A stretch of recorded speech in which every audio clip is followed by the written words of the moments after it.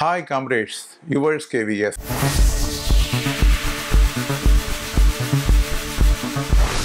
The Department of Post on 14-3-2023 has issued instructions on GDS substitute arrangement. A very good order. Actually, the orders dated 11-2-2022 and 21-3-2022 have been misconstrued about the substitute arrangement against the short-term vacancies of postman and MTS for less than 45 days and they were denied. The substitute arrangements were denied by misinterpreting the orders of 11 2 2022 and 21 3 2022 for the arrangements less than 45 days. So that the clarification is issued on 14 3 2023 very clearly.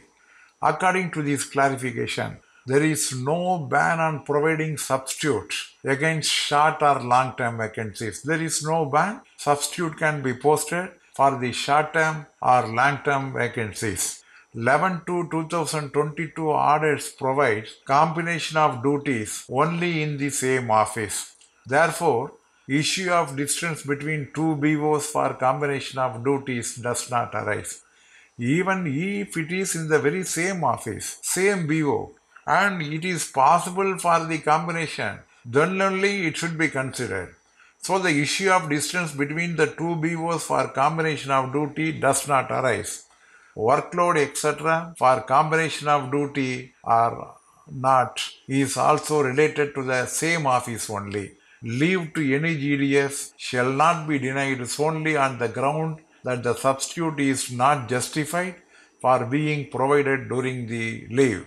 Where combination of duty is not feasible in the same office, substitute arrangement can be considered. A very clear clarity order and there is no need for any combination of duty even if the arrangement is within the branch post offices also and combination of duty between the GDS of two BOs is not permissible as per this order. So the clarification is very much useful 14-3-2023 order is a boon for the substitute arrangement in the GDS post. With this we conclude. Thank you very much comrade. Meet again.